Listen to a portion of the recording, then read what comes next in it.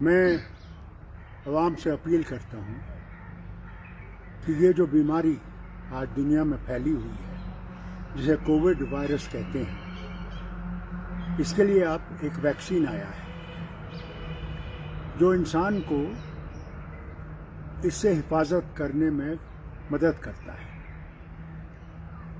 मैंने भी आज ये वैक्सीन लिया है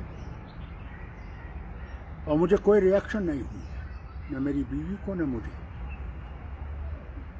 और ये सबसे ज़्यादा ज़रूरी इसलिए भी है क्योंकि अगर हमने इस बीमारी का मुकाबला करना है और दुनिया से इस बीमारी को दफ़ा करना है तो इसका एक ही रास्ता है। हर कोई इस वैक्सीन को इस्तेमाल करे।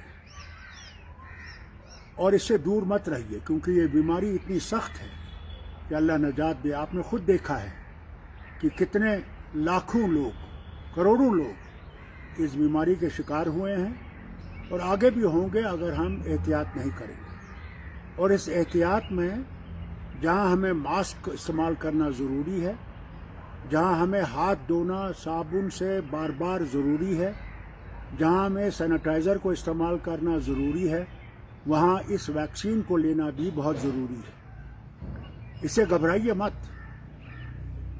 मैं आपसे अपील करता हूँ, एक डॉक्टर की हैसियत से, कि इसके बगैर कोई रास्ता नहीं है हमें इस बीमारी का मुकाबला करने के लिए। इसलिए मैं हर एक बाशिंदे से